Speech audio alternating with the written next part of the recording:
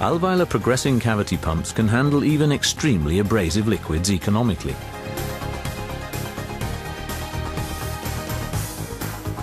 The pumping elements, rotor and ALLDUR stator, are designed for the highest possible wear resistance.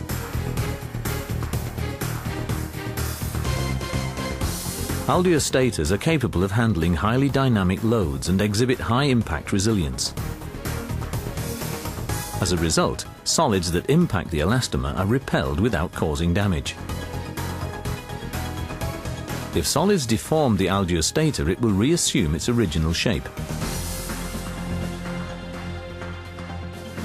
The elastomer of the ALLDUR stators is also characterized by extremely good abrasion resistance when pumping liquids that contain abrasive solids.